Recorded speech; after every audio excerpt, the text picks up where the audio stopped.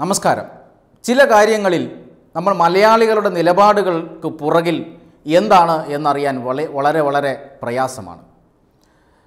കഴിഞ്ഞ ദിവസം എറണാകുളത്തെ ഒരു ബാർ ഹോട്ടലിൽ സ്ത്രീകൾ മദ്യം വിളമ്പിയതുമായി ബന്ധപ്പെട്ട് ആ ഹോട്ടൽ ഉടമകൾക്കെതിരെ കേസെടുത്തിരുന്നു. സ്ത്രീകൾ മദ്യം വിളമ്പാൻ പാടില്ല അത് അബ്കാരി നിയമത്തിലെ ചില വകുപ്പുകൾക്കെതിരാണ് എന്നൊക്കെയുള്ള സാങ്കേതികമായ ചില പ്രശ്നങ്ങൾ ചൂണ്ടിക്കാട്ടിയാണ് ആ ബാർ ഉടമയ്ക്കെതിരെ എക്സൈസ് വകുപ്പ് കേസെടുത്തത്. അപ്പോഴാണ് ഇങ്ങനെ ഒരു വകുപ്പ് ഉള്ളത് പോലും പലരും അറിയുന്നത്. എന്തുകൊണ്ടാണ് സ്ത്രീകൾക്ക് മദ്യം വിളമ്പാൻ പറ്റാത്തത്? നിയമം എന്തുകൊണ്ടാണ് അങ്ങനൊരു തൊഴിൽ ചെയ്യാൻ സ്ത്രീയെ അനുവദിക്കാത്തത്? എന്നിങ്ങനെയുള്ള ചർച്ചകൾ പൊതുസമൂഹത്തിൽ ഉയർന്നു വരാൻ തുടങ്ങി. പല ഫെമിനിസ്റ്റുകളും പല പല അഭിപ്രായങ്ങളും പറയാൻ തുടങ്ങി. ഇനി മദ്യം വിളമ്പിക്കഴിഞ്ഞാൽ സ്ത്രീ സമത്വത്തിലേക്ക് വരുമെന്നെല്ലാം വളരെ വലിയ അഭിപ്രായങ്ങളുണ്ടായി. നേരെ എതിർദിശയിലേക്കും അഭിപ്രായങ്ങൾ നിരവധി നിരവധിയുണ്ടായി.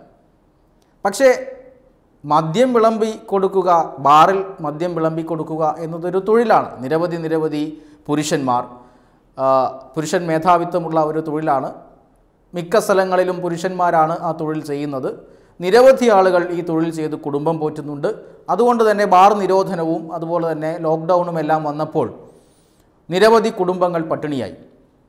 അതുകൊണ്ട് തന്നെ മാന്യമായ ഒരു തൊഴിലാണ് അത് എന്ന് തന്നെ പറയാം. എന്തുകൊണ്ട് സ്ത്രീകളെ നിയമം മൂലം അവിടെ തടയുന്നു ആ തൊഴിൽ രംഗത്ത് നിന്നും അകറ്റി നിർത്തുന്നു എന്നുള്ളത് ഒരു വലിയ ചോദ്യമാണ്. പക്ഷേ ബാറുകളിൽ സ്ത്രീകൾ ജോലി ചെയ്യുന്നില്ല അല്ലെങ്കിൽ മദ്യം വിളമ്പുന്നില്ല എന്നൊന്നും പറയാനാവില്ല. പല സ്ഥലങ്ങളിലും അത്തരം അത്തരത്തിൽ സ്ത്രീകൾ നമ്മുടെ കേരളത്തിലല്ല എങ്കിൽ പോലും കേരളത്തിലെ സ്ത്രീകളല്ല എങ്കിൽ പോലും നിരവധി സ്ഥലങ്ങളിൽ ബാറുകളിൽ മദ്യം വിളമ്പുന്നവരെ നമ്മൾ കണ്ടിട്ടുണ്ട്. അതുപോലെ തന്നെ എറണാകുളത്ത് മദ്യം വിളമ്പിയപ്പോൾ എന്ത് പ്രശ്നമാണ് ഉണ്ടായത് എന്നറിയില്ല.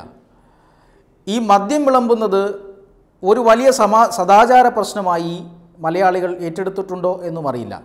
പക്ഷേ ഈ നിയമത്തിന് പിന്നിൽ ആരായാലും ആ നിയമം ഈ കാലഘട്ടത്തിന് യോജിച്ചതാണോ എന്ന് പരിശോധിക്കേണ്ടിയിരിക്കുന്നു. ആ ഹോട്ടലുടമയ്ക്കെതിരെ ഒരു സംരംഭം നടത്തിക്കൊണ്ടു പോകുന്ന ഹോട്ടൽ ഉടമയ്ക്കെതിരെയുള്ള മറ്റെന്തെങ്കിലും വൈരാഗ്യമാണോ ഈ കേസിന് പുറകിൽ എന്ന് നമ്മൾ സംശയിക്കേണ്ടിയിരിക്കുന്നു. കാരണം കേരളത്തിൽ സർക്കാർ നടത്തിക്കൊണ്ടുപോകുന്ന ബിവറേജസ് ഔട്ട്ലെറ്റുകളിലെല്ലാം മദ്യം വിളമ്പിക്കൊടുക്കുക അല്ലെങ്കിൽ പോലും മദ്യം എടുത്തു കൊടുക്കുന്നതിൽ ധാരാളം സ്ത്രീകളുണ്ട്.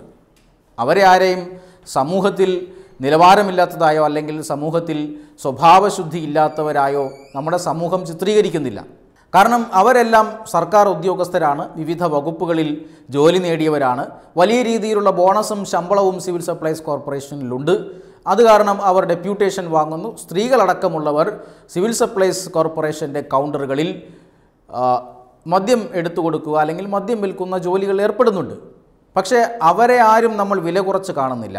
പക്ഷേ ഒരു സ്വകാര്യ ബാറിൽ മദ്യം വിളമ്പുകയോ മദ്യം എടുത്തു കൊടുക്കുവാനോ ഒരു പാവപ്പെട്ട സ്ത്രീ ജോലി ചെയ്താൽ ആ സ്ത്രീയെ സ്വഭാവശുദ്ധി ഇല്ലാത്തവരായും അല്ലെങ്കിൽ ആ സ്ത്രീയെ മോശപ്പെട്ട ജോലി ചെയ്യുന്നയാളായും മാറ്റുന്ന ഒരു സാമൂഹ്യ വ്യവസ്ഥിതി ഇവിടെയുണ്ട് എന്ന് പറയാതെ വയ്യ. നമ്മുടെ സിവിൽ സപ്ലൈസ് ഔട്ട്ലെറ്റുകളിൽ മാത്രമല്ല അന്താരാഷ്ട്ര വിമാനങ്ങളിൽ നമ്മുടെ സ്ത്രീകൾ മദ്യം വിളമ്പുന്നുണ്ട്. പക്ഷേ ഇതൊന്നും പ്രശ്നമാക്കാതെ എന്തുകൊണ്ടാണ് സ്വകാര്യ മേഖലയിൽ സ്ത്രീകൾ മദ്യം വിളമ്പുന്നതിലേക്ക് വന്നാൽ പ്രശ്നമാകുന്നത് അല്ലെങ്കിൽ അവരെ ഡീഗ്രേഡ് ചെയ്യുന്നത് എന്തിനാണ് എന്ന ഒരു ചർച്ച പൊതുവിൽ കേരളത്തിൽ ഈ സംഭവത്തിന് ശേഷം ഉയർന്നു വന്നിട്ടുണ്ട്. സ്ത്രീകൾക്ക് നേരെ അതിക്രമങ്ങൾ ഉണ്ടാകുന്നുണ്ട് അല്ലെങ്കിൽ മദ്യപന്മാരായ പുരുഷന്മാർ കേരളത്തിലെ ബാറുകളിൽ പ്രത്യേകിച്ചും പുരുഷന്മാരാണ് ഏറ്റവും കൂടുതൽ. സ്ത്രീകളാരും അങ്ങനെ ബാറുകളിൽ വന്ന് മദ്യപിക്കുന്ന ഒരു സാഹചര്യം കേരളത്തിലില്ല. മറ്റു സംസ്ഥാനങ്ങളിൽ അങ്ങനെയല്ല. പല മെട്രോ നഗരങ്ങളിലും സ്ത്രീകളും അടക്കമുള്ളവർ ബാറുകളിൽ വന്ന് മദ്യപിക്കാറുണ്ട്. പക്ഷേ കേരളത്തിൽ ആ ഒരു സ്ഥിതിവിശേഷമില്ല. പുരുഷന്മാരാണ് ഏറെയും അവിടെ ഉണ്ടാവുക. ആ പുരുഷന്മാർക്ക് മദ്യപിച്ച് ലക്ക് കെട്ടിരിക്കുന്ന പുരുഷന്മാർക്ക് മദ്യം വിളമ്പി കൊടുക്കുമ്പോൾ സ്ത്രീകൾക്കുണ്ടാകുന്ന സുരക്ഷാ പ്രശ്നങ്ങളായിരിക്കാം സ്ത്രീയെ ആ ഒരു മേഖലയിൽ നിന്ന് മാറ്റി നിർത്തിയത് എന്ന് നമുക്ക് അനുമാനിക്കാം. അതുകൊണ്ട് തന്നെയാണ് സ്ത്രീ പങ്കാളിത്തം ഈ തൊഴിൽ മേഖലയിൽ കുറവാണ്. പക്ഷേ സ്വന്തം ഇച്ഛ കൊണ്ട് അല്ലെങ്കിൽ സ്വന്തം താല്പര്യം കൊണ്ട് ഒരു തൊഴിലെടുത്ത് ജീവിക്കേണ്ട സാഹചര്യത്തിൽ ഇത്തരം തൊഴിൽ ചെയ്യുന്നവരെ അപമാനിക്കുകയും സമൂഹത്തിൽ അപമാനിക്കുകയും അവരെ സ്വഭാവശുദ്ധി ഇല്ലാത്തതായി ചിത്രീകരിക്കുകയും നിയമം ഉപയോഗിച്ച് അവരെ ആ തൊഴിൽ മേഖലയിൽ നിന്ന് മാറ്റി നിർത്തുകയും ഏതെങ്കിലും തൊഴിലുടമ അവർക്ക് അത്തരത്തിലൊരു തൊഴിൽ നൽകിയാൽ ആ തൊഴിൽ ഉടമയ്ക്ക് നേരെ പോലും കേസെടുക്കുന്ന ഒരവസ്ഥ ഉണ്ടാകുന്ന ഒരു സാഹചര്യം കേരളത്തെ സംബന്ധിച്ചിടത്തോളം പുരോഗമനപരം നമ്പർ വൺ എന്നൊക്കെ പറയുന്ന കേരളത്തെ സംബന്ധിച്ചിടത്തോളം അപമാനമല്ലേ എന്ന് ചോദിക്കാതെ വയ്യ. വെബ് ഡെസ്ക് തത്തുമയി ന്യൂസ്.